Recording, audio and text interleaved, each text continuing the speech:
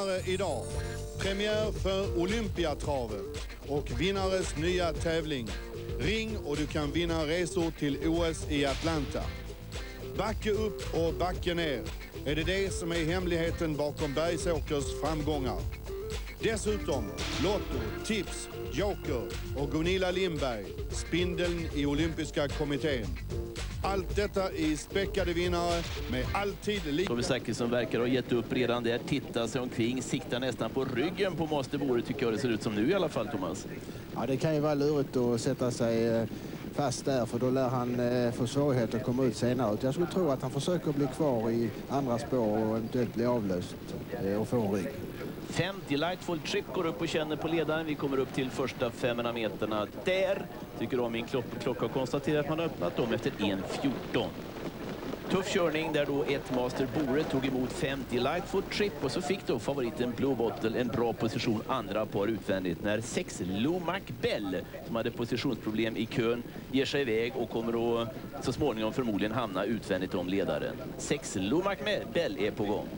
Det, det, här ser ut som det ska bli tredje par utvändigt för uh, Tommy Zackerssons favorit. Eh, Eh, nu fortsätter attackerna bakifrån så att det är möjligt att han förflyttas eh, längre ner, ner i fältet. Men jag tycker ändå att eh, Tommy får vara nöjd så här långt med hur det har utvecklat sig. Vi kommer upp till första varvet eh, där. Jag trycker om min klocka på Master Bore och konstaterar att det har avverkats efter 1.17 lite drygt. Hästen som är på gång i spåren är då nummer 8 Spotlight Edvard Olle Goop drar med sig nummer 4 Gorio Kai Videll och så kliver det då även Tommy Zachrisson ut i banan med tre Blue Bottle som eh, kommer att få draghjälp en lång bit här. Det är tätt mellan positionerna när det återstår 850 meter. Ett Master Bore nu med 8 Spotlight Edvard utvändigt. Så är det galopp för 6 Lomax. Jack Bell som försvinner. 700 meterspolen passeras hästarna ut på sista långsidan. Tittar bakom ledarparet är alltså fyra Gorio eh, som fjärde häst nu. Tio Cowboy Lindflower som har liftat i ryggen hela vägen. Och så då favoriten Blue som har fått mycket gratis. Men jag tycker det ser segt ut för henne Thomas. Ja det ser väl segt ut för allihop. Tempot har varit högt och är fortsatt högt. Och, eh, jag skulle inte tro att de klarar av att hålla det här hårda tempot in mot mål. Master Bore som leder ser faktiskt slagen ut i det här läget och eh, utvändigt har ju Spotlight Edward gjort ett jättejobb så här långt. Vi får se om han kan stå emot när de kommer bakifrån. Nummer ett, Master Bore är slagen. Åtta Spotlight Edward har tagit över. Bakom smyger fyra Goriot som är urstark och så är det favoriten Blue Bottle ute i banan som försöker. Upploppsklockan har ringt. Det är mindre än 200 meter kvar för Spotlight Edward som nu ansätts utifrån av favoriten Blue Bottle. Spotlight Edward eller Blue Bottle är de två det handlar om. Spotlight Edward är trött. Blue Bottle närmar sig men det kommer inte att räcka för favoriten väl. Det hårdnar till in mot mål riktigt hårt sista biten men jag tyckte att nummer 8 Spotlight Edward vinner det här loppet för Olle Goop. Ja, efter en lite motig period får man nog säga så börjar det lossna ordentligt för dig Olle. Ja, framförallt den här veckan har ju varit fantastiskt fin. Det har ju varit en ja, segerrik vecka kan man säga. Är det så att när en häst och två och tre hästar får form så kommer de andra efter oftast? Ja, det ligger mycket i det resonemanget. När hästarna är i form då är ju hela, stall, hela stallet oftast i form och kommer, får man in en liten infektion så då blir det ju grus i maskin, maskineriet så att nu är det uppåt och det är bara bra allting. Nummer 8 Spotlight Edvard och Olle Goop vann före favoriten 3 Blue Bottle och 4 Gorio. Vinnaroddset 10,81. Platserna 30, 22, 31. Vinnartiden goda 1,16,8. Nummer 9 Sunny Crown var struken och utgångsvärdet på V75 blev 126 kronor. V75 som ska börja med en 8 och som idag har omsatt drygt 51,5 miljon kronor.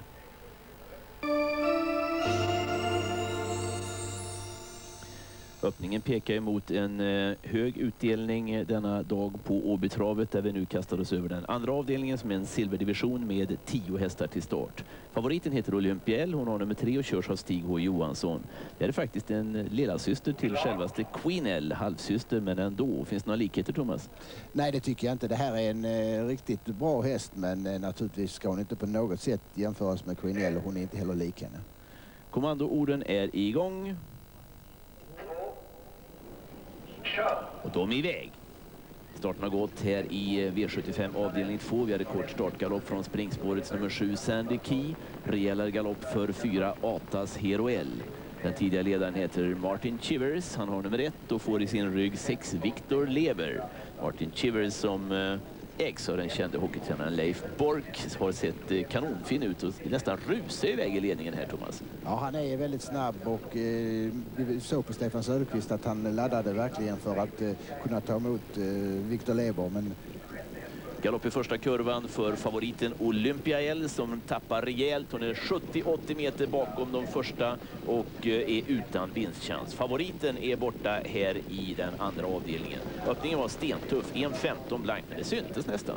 ja, och eh, vi ser här att eh, Stefan Söderqvist har problem med sin häst. Eh, han eh, blev väldigt peppad av den här öppningen och han har inte fått hejd på honom utan Stefan försöker hålla emot och dämpa ner tempot så gott det går men hästen ligger på hårt och vill springa och Eh, det här är naturligtvis eh, ett alldeles för högt tempo och eh, det kan dröja ytterligare en stund innan han lugnar ner sig. Då har han förmodligen lagt bort det mesta av sina krafter redan. Nummer ett, Martin Chivers, kommer upp till första varvet. Där fortfarande prick 15. Tufft, tufft tempo där framme med ett Martin Chivers i ledningen. I ryggen sex Victor Leber som tredjes på innerspår. Nummer åtta Starlit Success. Fram i spåren i andra spår då nummer nio Otto Neville som är en liten käck travare. Kommer från Axvalla, tränas av Bo Näslund. Där i ryggen Sandy Keys, som har smugit fram av eh, Jägersros Ludde Colgini.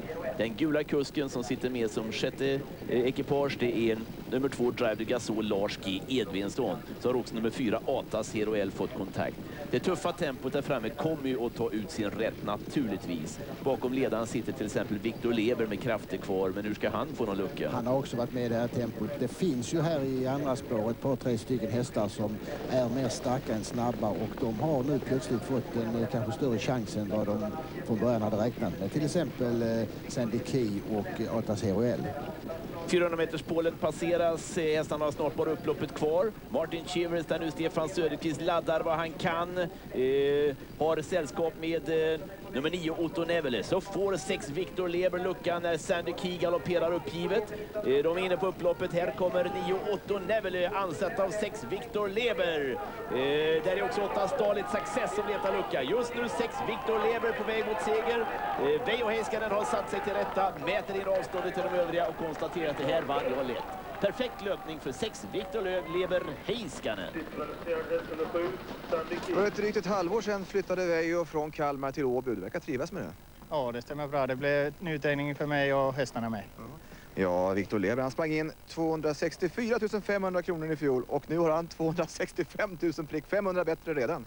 Ja, hästarna har utvecklat sig otroligt mycket på slutet. Att, äh, miljöombyte var bra för hästen med faktiskt. 6, Victor Leber vann för 8, Starlit Success och eh, 9, Otto Nevele. Vinnarodset här 6 och 27.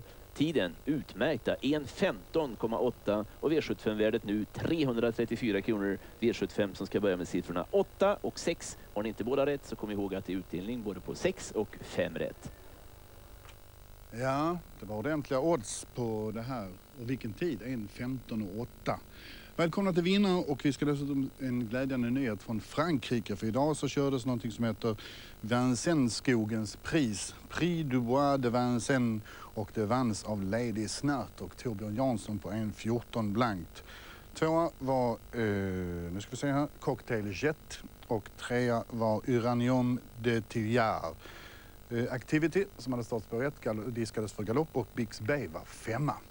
Som ni kanske kommer ihåg så förra veckan så hade vi lite strul med vår tävling men vi har ringt hela veckan och nu har vi lyckats få tag i de här grabbarna som i alla fall kom fram förra veckan. Och jag säger hej då till eh, Kjell Svensson i Sundbyberg. Hej Kjell! Hej, hej. Tjena! Och eh, Lars-Gunnar Nylén ifrån Årgäng. Ja, hej. Hej! Eh, Kjell som är försäljare, säljer färgband och eh, Lars-Gunnar som är snickare. Mera känd som Gugge och eh, har ett långt förflutet i travet. Du har varit proffstränare på Årgäng. Ja, jag jobbade tio år hos Uno Sved före det. Och... Ja. Ja. Hade hand om svinten till och med ett tag. Jajamän. Eh, Den här tävlingen går alltså till så jag har ett antal frågor. Första pris är en resa för två till OS i Atlanta i Georgia och andra pris är då biljetter till friidrotts-VM i Göteborg. Jag ställer en fråga och ni, så fort ni tror att ni vet svaret så ropar ni ett namn så ska jag försöka avgöra vem som ropar först. Och ni vet också att det ligger lite... Ni har- får lov att chansa men så fort ni har sagt ett namn så slutar jag läsa frågan. Är ni klara då grabbar? Ja, ja. Då börjar vi logiskt sett med fråga nummer ett. Vi får en bild här. Ni ser tre legendariska travbröder. Vad heter de i efternamn? Ja. Kjell svarade första. Kjell, vad säger du? Bröderna Nordin. Nordin är alldeles riktigt. Kjell tar ledningen med 1-0. Fråga nummer två. Finland har stått som arrangör av ett sommar-OS. Vilket år? Gugge! Gugge? Kjelle. 52. Gugge svarade 1952 och utjämnat till 1-1. Ja, men Kjell, du svarade senare. Ja, jag förstår det. det gjorde du. Så att... Eh, så är det den som svarar först och sen så är det bara att säga svaret. Fråga nummer tre. Vad heter USAs presidentpar i förnamn? Kjell. Kjell svarade där ja. Vad säger du Kjell? Bill och Hillary. Ja, det är 2-1 till Kjell. Fråga nummer fyra. Vilket lag vann elitserien i ishockey? Gugge! Gugge. Malmö. Vad säger Kjell? Det var fel.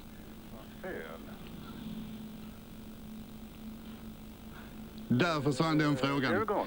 Ja, där gick tiden ut för dig Kjell. Det var alltså Djurgården. Vi står kvar på 2-1 inför den sista avgörande frågan. Som antingen kan bli oavgjort eller seger för en av er. Var gick olympiska spelen 1940? Gugge! Gugge? Kjelle. Vad sa du Gugge? Kjelle. Det gick inget.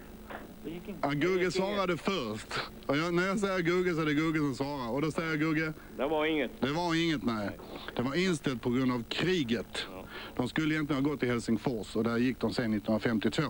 Då är det alltså 2-2 och vi går till ut, utslagsfrågorna.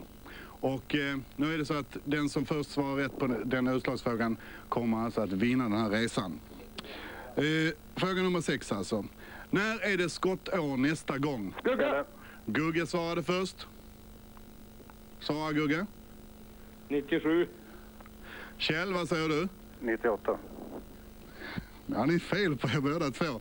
96. Skott, äh, skottår är sammanfall av olympian, det är 96. Det är fortfarande 2-2, Oid- olidligt spännande. Fråga nummer sju. Vad kallar man på travspråk positionen... Kjelle. Gugge! Kjelle? Dödens. Dödens. Kjelle svarade först och du chansade och du svarade på döden så frågan lät utanför ledaren. Det var alldeles rätt. Kjelle, du har tre och Gugge har två. Och jag gratulerar Kjell Svensson. Kjell Svensson från Sundbyberg till eh, en resa för två till eh, olympiska spelen i Atlanta, Georgia nästa år. Och eh, eh, Lars-Gunnar, hallå? Ja. Är du klar, kvar? Ja. Du får åka till Göteborg och titta på VM i friidrott, är det okej? Ja, ja, men. Ja, ja. Jag får gratulera Kjell då. Ja, det var bra. Tack ska du ha Lars-Gunnar. Ja. Eh, Kjell då, har du varit på något OS tidigare? Nej, aldrig. Nej, det var första gången. Jag blir en höjdare. Ja, det tror jag säkert det. Du ska ha ett stort grattis. Tack så mycket. Tack för att ni ville vara med. Okej. Ha det så bra grabbar. Hej då. Tack, hej då. Hälsa Gugge. Ja, det ska jag göra. Okej, då lyckades vi, tack så du ha, hej. Då lyckades vi komma igenom den här tävlingen i alla fall. Och eh, vi är lite ont om tid så vi kastar oss direkt över till avdelning nummer tre i V75.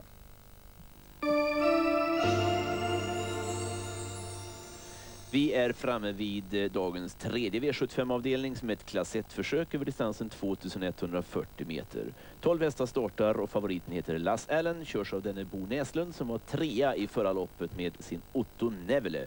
Lass Allen som är mycket klar sträckfavorit här har ett så kallat springspår, sjätte spår och kommer att få ta en eh, springande start. Eh, Quicksilver Gally har vi bild här, en intressant häst om inte annat därför att han ägs av Leif Loket Olsson och jag vet att Loket har stora förhoppningar på sin häst här. De är iväg. Starten har gått och ut i banan kommer bland annat eh, nummer sju eh, Glass Jod. Galopp från start för sex Lass Allen som tappar mycket. Favoriten borta här också med andra ord. Galopp kort efter start även för nio Mr Beam. Den tidigare ledaren heter Singapore Pride, körs av Ulf Olsson. Är hårt ansatt ute i banan av fem Net Thunder och sen eh, hamnade då Stig och Johansson i tredje spår med sju Lass Jod trots en bra start och kommer att gå fram utan på ledaren och sätta sig i den där så kallade dödspositionen. Bra på gång där bakom också nummer 12 Real Mess när hästarna är på väg upp mot första 500 meterna där så konstaterar jag att man har öppnat 1.19. Ja, det var en väldigt lugn öppning. Stig Johansson har nu kunnat överta ledningen med Las Jod och eh, får i sin tur tryck av nummer 12 Real Mess som i sin tur övertar. Så att eh, det har hänt en ganska mycket här eh, på 400-500 meter. Mycket överraskande öppning på det här loppet. Jag noterar att favoriten Lass Allen, storfavoriten, fortfarande är med i loppet. Han sitter allra sist i klungan, men får ju naturligtvis svårt. Han tappade 30-40 meter. Ja, han är dessutom eh, en riktig spetshäst och spekulationen var ju att han skulle kunna utnyttja sitt springspår och få ledningen där han gör sina bästa lopp. Nu är förutsättningarna helt andra plötsligt. 12 Real Mess hade det sämsta utgångsläget men i alla fall framme i ledningen nu när han kommer till första varvet på 1.19,5. Måttligt tempo med tanke på att det har varit tuff körning i de två tidigare avdelningarna. Ja, det här går ju extremt sakta.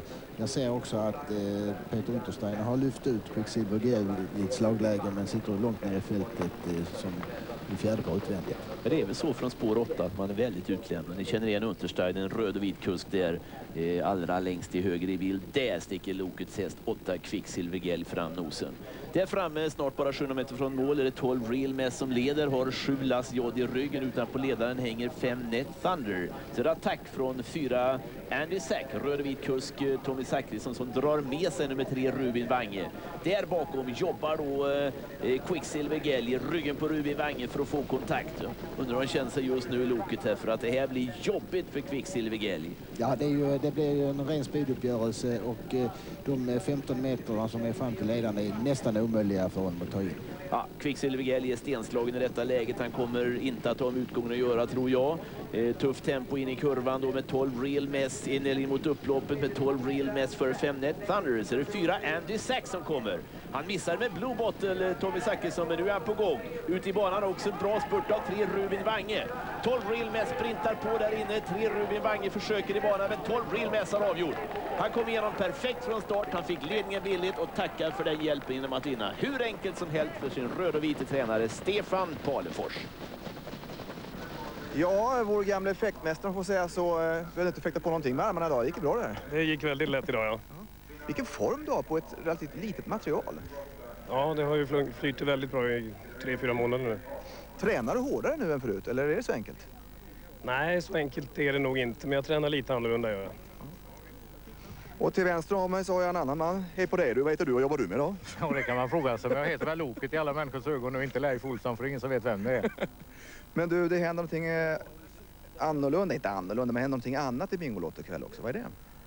Ja, om du tänker på Olympiahästen så är det ju någonting vi har nu. Alla, alla eh, kvalificeringshästar, de som går vidare till finalen, lottas ut i Bingolotto ikväll då. Så det blir en vinnare till den som vinner Olympiatravets försök idag. Sen blir det likadant nästa vecka och likadant nästa vecka. Sen har vi då en människa till varje finalist i Olympiatravet som vinner lika mycket pengar då som hästarna springer in. Det vill säga att den som vinner, den som har den hästen och vinner en halv miljon och så vidare. Så det är lite extra.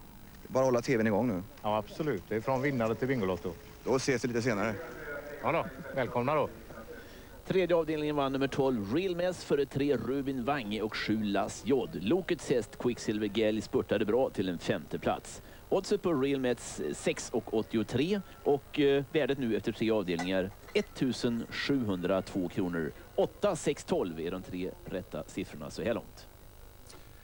Ja, det ser ut att bli bra pengar på V75 idag. Imorgon så går ju ett av de, en av de stora begivenheterna i sport-Sverige, Vasaloppet.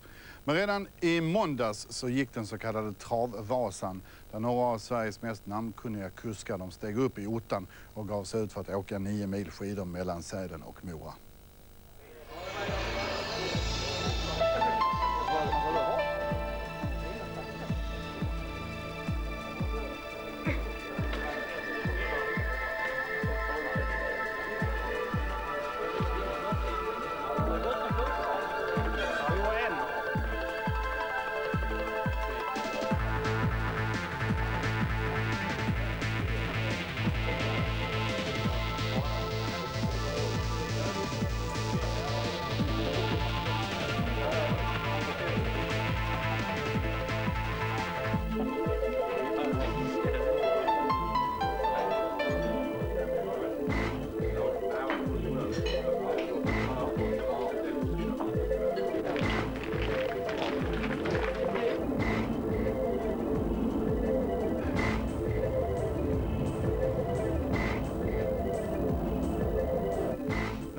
Gott om tid på sen så jag vet inte heller vad man ska jäkta för.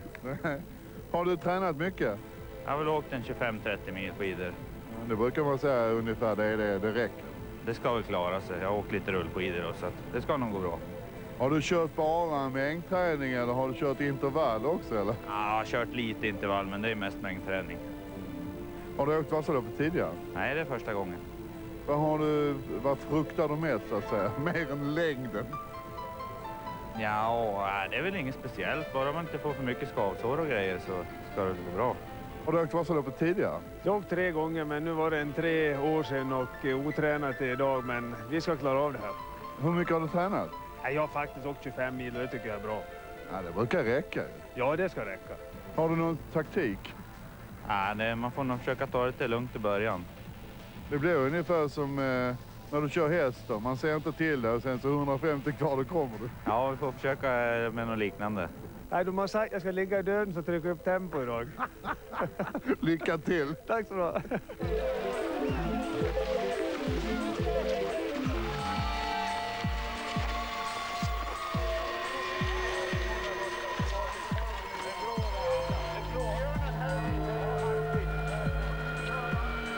För kondition, det behöver travkuskar ha. Men är det alltså sätt att försöka bevisa att travkuskar det är inte bara killar som sitter och åker bakom en häst utan det är, det är riktiga idrottsmän? Ja, det är det verkligen. För det krävs idag att man har en eh, god grundkondition. Och tävlingsmänniskor, det vet vi att de här travkuskarna är. Så att det här är ett mycket trevligt inslag.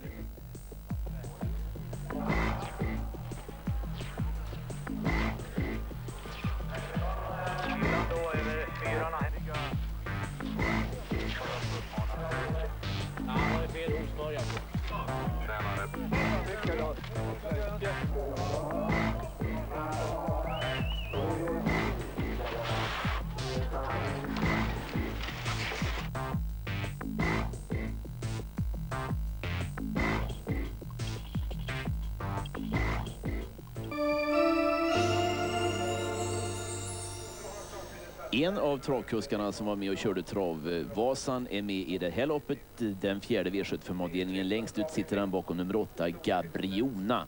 Örjan Kihlström, men såg jag fel på de här bilderna som vi såg nyss, Thomas? Hade han inte förskräckligt illa vallat, eh, Örjan?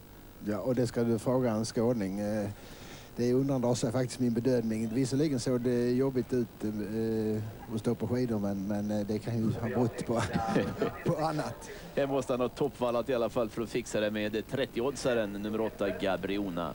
Favoriten heter Caniga, har spår invändigt om eh, Gabriona har alltså spår 7, körs av Stig H Johansson. Startbilen har släppt fältet, de är iväg. Snabb start från fyra Smokey Songcan, och Heiskanen som försöker få ledningen, kommer inte att få den från invändiga ett Trotting Legs, Tommy Zachrisson. Favoriten 7 Canigia har tagits lugnt från sitt sjunde spår, har hamnat illa till i tredje spår runt första kurvan och som vanligt sitter Stig och Johansson där och letar efter någonstans att slinka ner. Vad gör man i ett sånt här läge, Thomas? Ja, det syntes ju tydligt att eh, Stig bara koncentrerade sig på att köra felfritt. Eh, hon låg på hårt och han fick hålla i henne. Hade han släppt av henne hade det riskerat att bli galopp. Nu har hon tydligen hittat eh, stilen och nu är han på väg framåt. Eh, fortfarande i tredje spår och har positionssvårigheter och det är inte alldeles säkert att eh, det här löser sig på ett bra sätt för honom. Det är en knalltuff körning där framme. Vi hade en öppning första halvvarvet på 1.15 och man fortsätter köra. Det var två Janina Galax som gick fram och övertog ledningen men blir ju som ni ser enormt tufft attackerad av sex Clear Space, Johanni Partnanen. Där har verkligen Partnanen bestämt sig för att få ledningen. Varför gör man så här Thomas? Ja, det ser ju lite märkligt ut eh, och eh, det är ju att, eh, att välja en taktik och får man då mothugg så kan det vara svårt att så att säga tänka om. Nu har ju Partanen fullföljt eh, den här taktiken men priset är naturligtvis oerhört hårt, eh, högt här och eh, Får han inte lugna ner det här nu så kommer hans häst förmodligen att bli rejält trött. 14,5 första varvet på 6 Clear Space och nu har mindre än ett varv kvar till mål men det kommer att bli ett tungt slutvarv för ledaren. Två Janina Galax har glidit ut i banan. Eh, bakom där sitter ett Trotting Legs som har slunkit med fint. Jag noterar att favoriten 7 Caniga har gått i tredje spår hela loppet. Stig och har inte kommit ner någonstans. Nej, det är han, han har kommit hem stilla till. Eh, det är naturligtvis lite hjälpt av eh, det höga tempot där framme som gör att de kommer ju att tvärsta avstannar och hela fältet kommer att rusa över ledarna här. Men Titta. eh, Okaniga är ju naturligtvis stark och på väg framåt men det är kanske för mycket begärt ändå att eh, hon eh, ska reda ut det här. Janina Galax är stark. Tommy Löfgren säger någonting till Partanen. Jag utgår från att det var några väl valda ord när 500 meters passeras och Partanens häst kastar in handduken totalt. Två Janina Galax tar över. Där är ett Trotting läggs på väg. Det är en jättesensation. Ute i banan också sju Canigia. Vad kan hända bakom? Det är klart att det måste komma hästar med friska krafter bakom. Längst bak till exempel Gabriona, vit öronkappa. Röd kust är bakom nio I will survive, P.O. Pettersson. De kommer från alla håll bakifrån nu när det är mindre än 200 meter kvar. Där är ett Trotting Legs, en riktig rysare som har greppet just nu. Så kommer Orange Bowl med en sista fråga. Längst ut nio I will survive. 12 Orange Bowl, ett Trotting Legs, nio I will survive. Det är hårt i mål.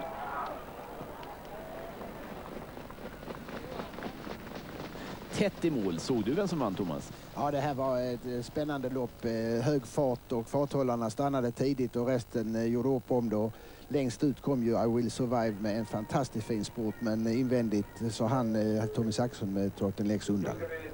Tommy Zachrisson som efter mål i segerintervjun meddelade att nästa vecka startar han sin stora stjärna Zenit F i Olympiatravet. Tommy Zachrisson som vann det här loppet med nummer ett Trotting Legs före 9 I will survive och 12 Orange Bowl. Vinnaroddset 25,17, tiden goda 1,16,5 och titta på V75-värdet nu efter fyra avdelningar uppe i 60 694 kronor.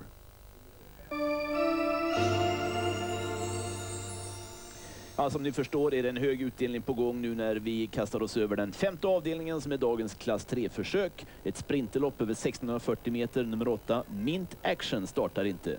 Favoriten heter Hazard Tim, han har nummer 10 och körs av Olle Goop.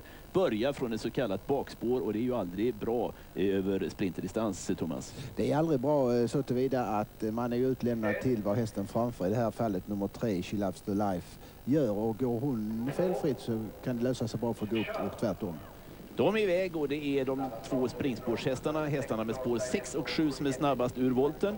Alla 12 hästarna, förlåt, alla 11 hästarna är felfria från start. Där invändigt är det tre She Loves the- Life, hästen med det läckra namnet som tar ledningen. Men utsatt för hård press från nummer 7, Jeppe Li. Tuff körning in i kurvan, då galopperar tre She Loves the Life och lämnar över ledningen till 7 Jeppe Li eh, som körs av Ralf Karlstedt. Ny tuff öppning, Thomas. Ja, Olle Goop eh, tog inte chansen att hänga med i den hårda öppningen. Eh, han hade ju fritt spår bakom eh, She Loves the Life men tog det lugnt och har kommit jättefint igenom och sitter i tredje par utvändigt. En eh, 16 första 500 meterna på 7 Jeppe Li som i sin rygg har 6 Frontline SO. Mikael Andersson från Färjestad. Tassande utvändigt eh, kommer nummer 5 Robin Barm, vit och röd kusk Lars Högström från Kalmar.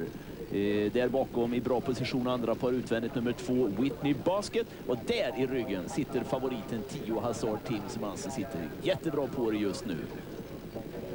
Ja, det största hotet är väl i så fall om eh, nummer eh, 6 Frontline SO kan smita ut från sitt invändiga läge nu i rygg på ledaren. Hästarna upp mot första varvet. Där trycker de in klocka i en 17,5 tempo. Då ger sig favoriten Hazard Tim iväg och eh, eh, switchar ju över dem. Ser just nu ut som en klar vinnare när de är på väg in i sista kurvan.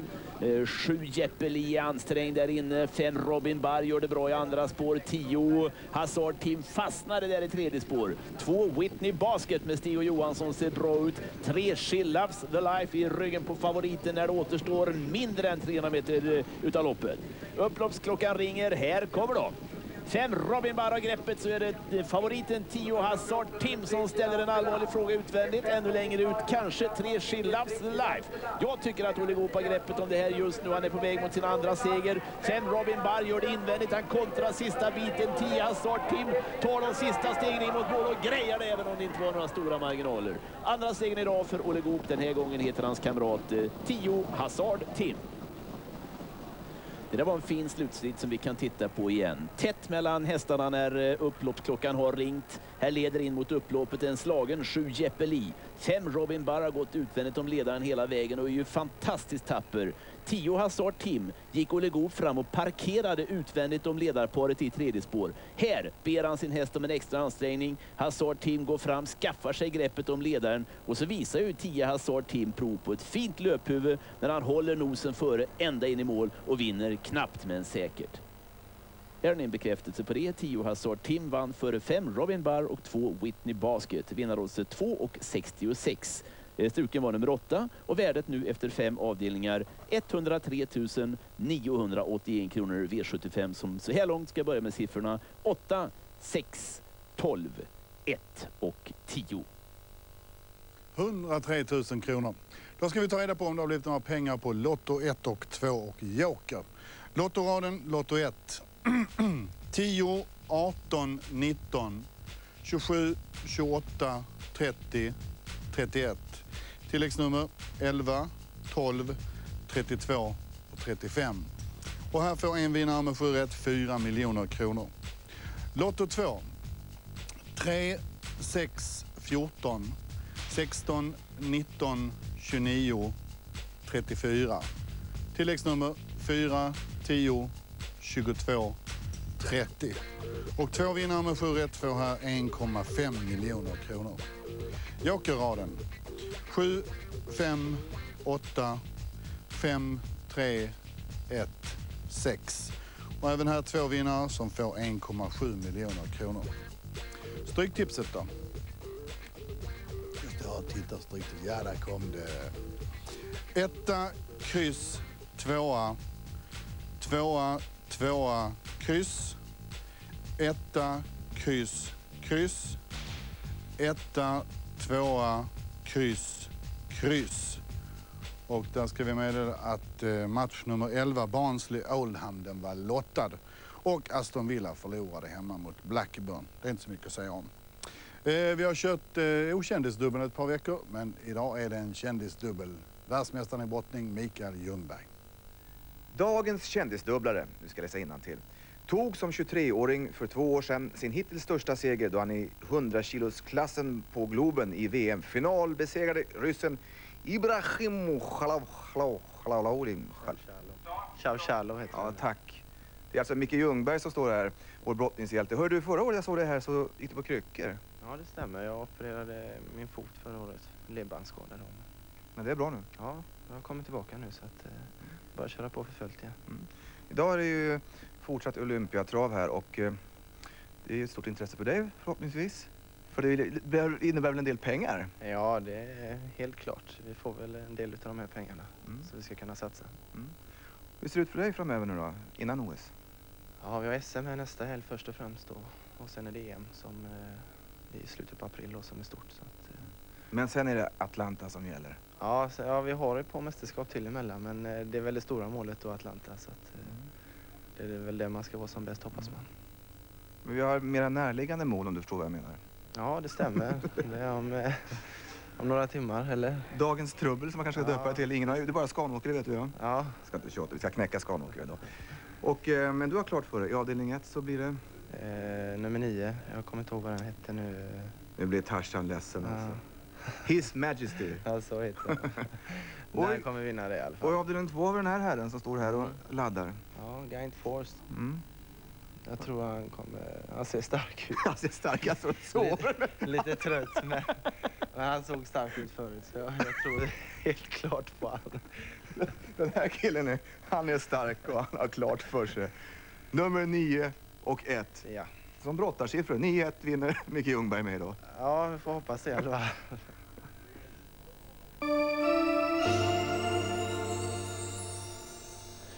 Ja, nu gäller det. Nu ska pengarna fördelas. Kom ihåg att värdet efter fem avdelningar är över 100 000 kronor. Och här är hästarna då inför den sjätte avdelningen som samtidigt är dagens dubbel avdelning 1. Tre strukna hästar, tre Million Boy, fyra Super Leo och tio Arabian IT. Och favoriten heter Eagle Bow. Han har nummer ett och körs av Fredrik Larsson. En ung kille som var med och körde Travasan på ett förträffligt sätt. Det här är Micke Ljungbergs eh, val i loppet. Eh, Micke trodde ju att det skulle bli 9-1 på dagens dubbel och nian heter His Majesty, en elegant femåring som körs av Stefan Melander. Den killen kallas för Tarzan. Det här loppet får ni nöja er med mig eftersom Thomas Nilsson kör en av de betrodda, nummer 11, Hallowboy. 2100 meter, nio hästar är med och de är iväg. Starten har gått och Eaglebow som är extremt beroende av ledningen raketstartar såklart från sitt innerspår. Det fanns inga alternativ. Han tar ett smärtfritt hand om ledningen, får nummer 6 Merolavec i ryggen. Där utanpå kommer nummer 8 Petit Ovios Örjan Kihlström att få eh, bekymmer att hitta någon lämplig rygg. Ni såg att Örjan tittade sig runt omkring, letar efter någon som vill komma. Eh, kanske så småningom får nummer 7 Endless Vacation och går i ryggen på för Endless Vacation. Veijo Heisken har blivit över i spåren och har ju liksom ingenting att välja på. Måste avancera och kommer att landa utan på ledaren. Gör en öppning första 500 meterna på 1.17. Favoriten nummer ett, Eagle Bow, är i ledningen snart 1500 meter från mål. Har nu nummer sju, Endless Vacation utvändigt. Nu såg man att Heiskanen vände sig om för att leta efter någon som vill avlösa honom. Men hittar ingen. Sex Medola Väck, Ludde Colgjini sitter i ryggen på ledaren. Där bakom åtta Petit Obios, Örjan Kihlström. Tredje par invändigt sitter nummer 12, BGS Nebele. Och där utvändigt fem Pimpernel Nugget, röd och vit kusk, Fredrik Widman. Så hittar vi också nummer två, Tino Netter, en riktig bjässe som körs av Tommy Zachrisson som ju redan har vunnit ett lopp i rad. Sist sitter min vän Thomas Nilsson med Hallå Boy. Attacken kommer då från eh, nummer 5 Pimpernel Nugget.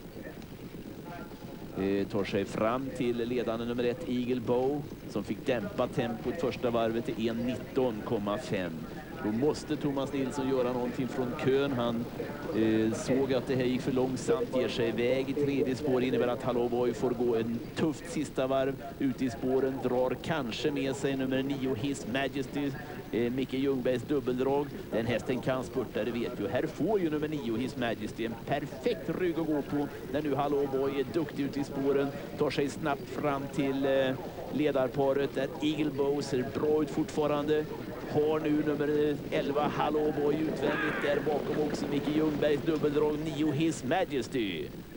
In i sista kurvan, mindre än 500 meter återstår. Ett Eaglebow nu tillsammans med 11 Hallåboy. Där bakom 6 Merol Lavec.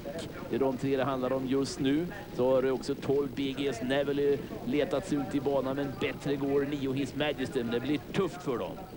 Upploppsklockan ringer, eh, bara 200 meter återstår. Här kommer favoriten, ett Eagle Bow. Hallåboy vet vad det här handlar om. Han kommer att ge sig eh, den minsta möjliga marginal ut i banan. Försöker också sex Merolavec.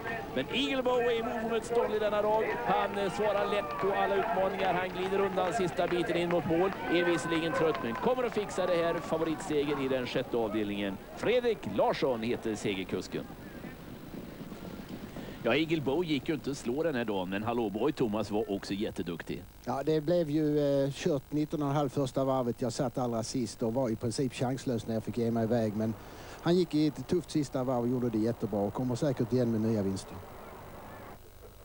Ett Eagle Bow vann alltså före 11 halloboy och 6 Merolavec. Vinnaroddset 3 och 21. Observera de tre strukna hästarna, nummer 3, 4 och 10. Och V75-värdet nu inför den sista avdelningen 200 202 kronor. Ja, då har vi bara en avdelning kvar och efter den så är det alltså dags att ringa vara med i veckans Olympiatävling. Och de som får tävla idag det är de som har två, fyra eller fem rätt på sina bångar. Och det vet ni ju direkt efter nästa avdelning. Så har alltså bången i beredskap för att ni ska uppge numret så vi kan kolla så det är det antal rätt. Jag ska se. Här ser ni, allra längst ner så är det en streckkod och ovanför den så är det alltså ett nummer som består av fyra grupper med både siffror och bokstäver. Och den ska ni då uppge när ni eventuellt kommer fram. Förra veckan var det 47 000 som ringde. Så eh, direkt efter avdelning 7 så är det dags att ringa. Då kommer vi visa telefonnumret i bild. Nu är det alltså dags för en förhoppningsvis mycket spännande, eh, ett spännande försök i Olympiatravet. Lite konstigt tycker jag förstås att det är att norrmannen strök ju tidigt va? och dessutom är det inte fullt fält. Det är underligt när man ändå kör om 400 000 kronor. Ja, det är ju faktiskt så att i detta det andra försöket till Olympiatravet så är det bara sju hästar kvar efter att norrmannen Living Pride nummer två och nummer tre Messer Fabian strukits.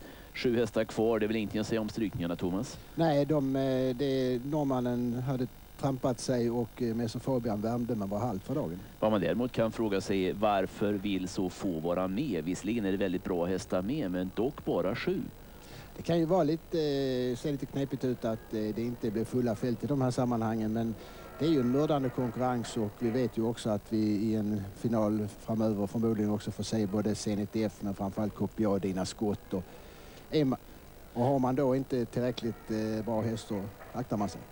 Här har vi Giant Force, nummer ett i loppet. Världsmästare från 1993 som i vintras har varit nere och slagits mot de bästa, bland annat i Prix d'Amérique.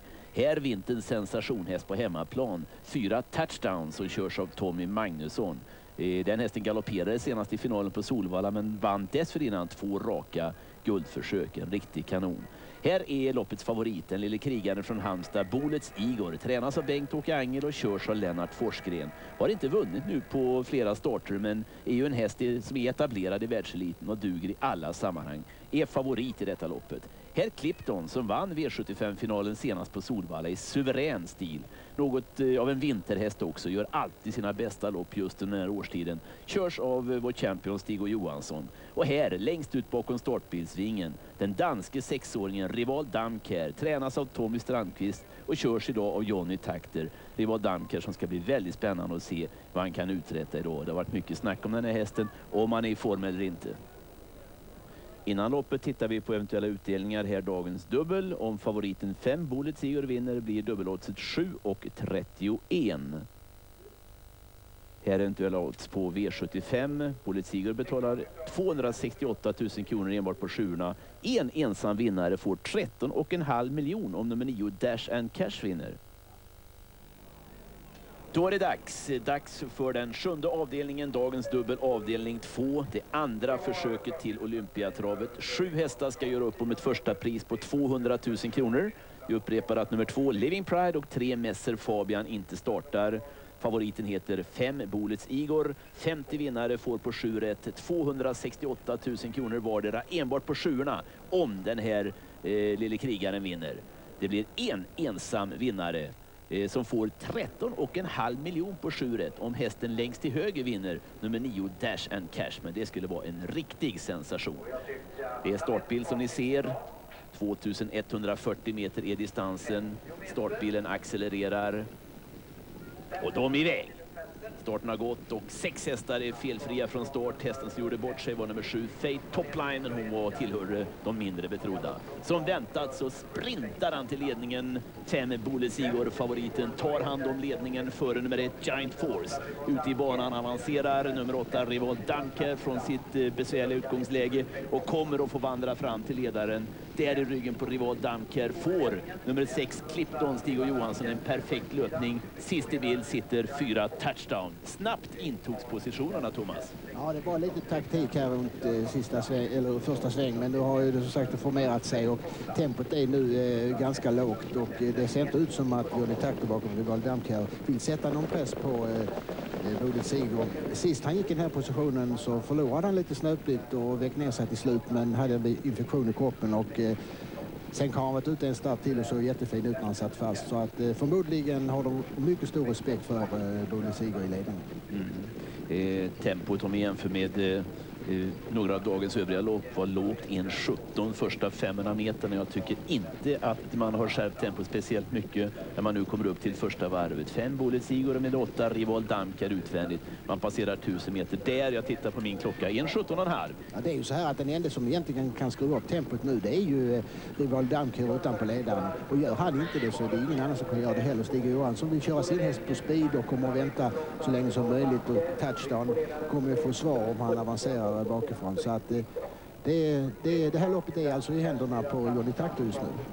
Ni kan positionerna nu när det återstår snart bara 700 meter. Fem Bullet Sigurd i ledningen. I ryggen smyger ett Giant Force. Hur ska han bäras åt för att få luckan? Utvändigt utan rygg går åtta Rival Damker. Bakom Rival Damker sitter sex Clipton. Som tredje häst på innespår nio Dash and Cash. Och så avslutar fyra Touchdown och sju Fate Topline rödkusk Lars Wester. Nu är det hård körning när man närmar sig sista kurvan. 500 meter återstår. Jag trycker av min klocka lite bättre än 16. Ja, det är fortfarande lågt tempo. Bullet Sigurd ser ju ut som en rullmiljon som du brukar uttrycka det i ledningen. Och är han vid sunda vätskor så, så sprintar han ifrån dem nu. Bolle Sigurd har du under kontrollen nu när man är på väg in mot upploppet. Klockan ringer. Här kommer favoriten 5, Bullet Sigurd. Giant Force får inte luckan. Rival Damker kämpar utvändigt om ledaren så kör Forsken undan det som går. Clipton kommer mitt i banan med en sista fråga.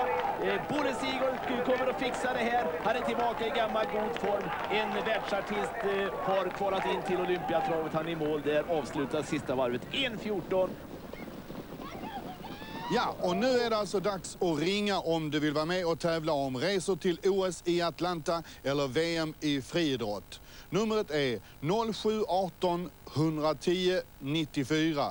Ha din V75-kupong i beredskap och på den ska det finnas två, fyra eller fem rätt. Samtalet kostar 60 öre. 0718 110 94 och du ring nu! Här är resultatet av den sjunde avdelningen. Fem Bodets Igor vann före ett Giant Force och sex Clipton. Vinnaroddset 2,40 och vinnartiden 1.15,3. Dagens rätta dubbelkombination 1-5 betalar oddset 7,31.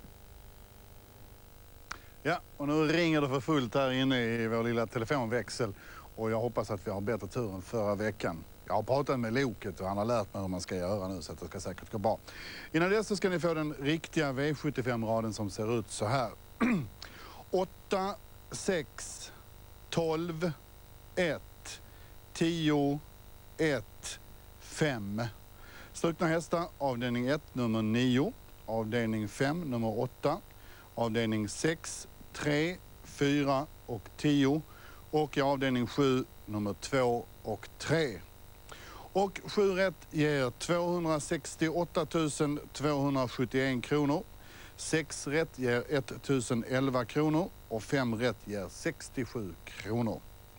Och det enda jag kan göra nu är att vänta på besked att det har kommit igenom telefonsamtal. Hallå? Hallå, hallå.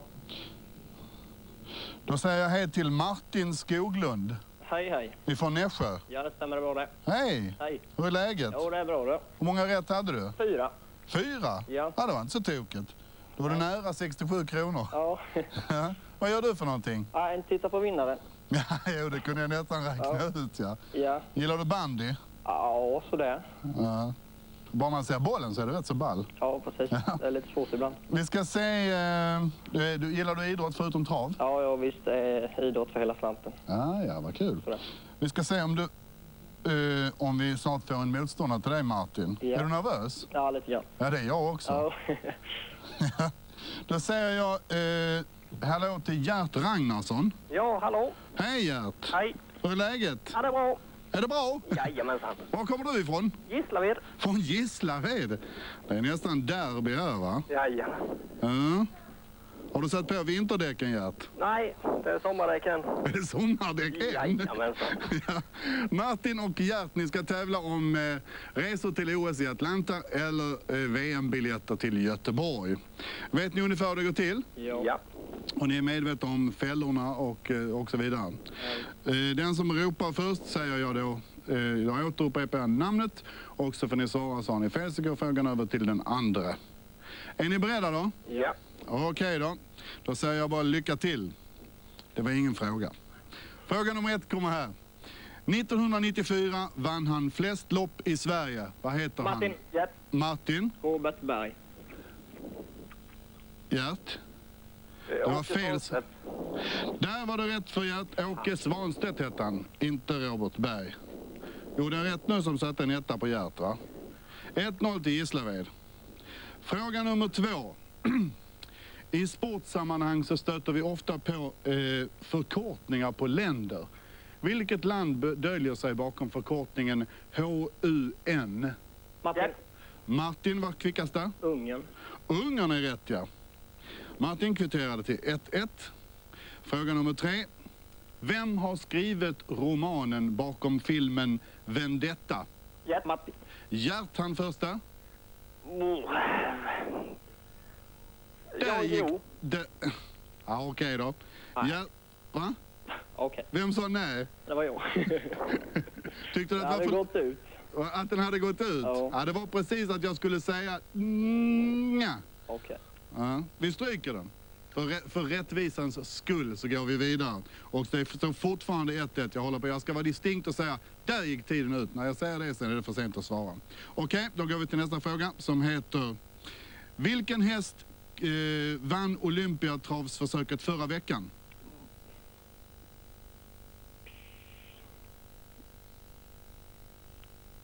Tänk vad kort minne man kan ha ibland. Ja.